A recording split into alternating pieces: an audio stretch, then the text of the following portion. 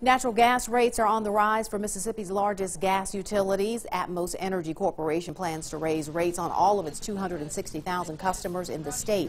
Now, according to the Mississippi Public Service Commission, rates for yardstick residential customers should increase by about $2 a month, while most of the new money will go to pipe repair and replacement. Some will go to a program expanding natural gas service into rural areas. Atmos will spend $5 million next year in hopes of adding 1,000 customers.